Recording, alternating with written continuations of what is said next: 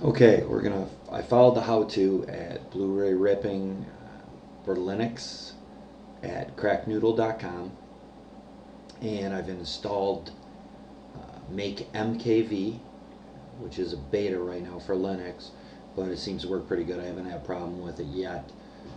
Um, I'm going to show you how to make a, basically take a Blu-ray and make it into an MP4, M4V for uh, playback on your PS3, Xbox, or whatever you want. Um, an MKV is actually a nice file format. It's just a little bit big.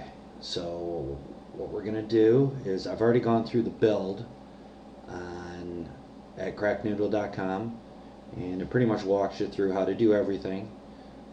Um, now what we're going to do is I'm just going to show you what it looks like when it runs. I'll bring up my command prompt and we're going to throw up um, make mkv and it opens the window and starts scanning and it found my DVD in there, Law Abiding Citizen. Now you click this little button here to open the Blu-ray and it goes through and indexes all the different files on the Blu-ray, decrypts them so you can read them. It builds you a nice little menu structure so you can select what you want to rip and what you don't. Found a couple titles.